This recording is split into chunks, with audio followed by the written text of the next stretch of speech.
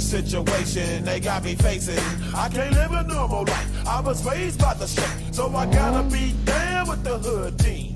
Too much television watching got me chasing dreams. I'm an educated fool with money on my mind. Got my tin in my hand and a gleam in my eye. I'm a low out gangster, set tripping banker. And my homies is down, so don't arouse my anger. Fool, death ain't nothing but a heartbeat away. Living life, do or die. What can I say?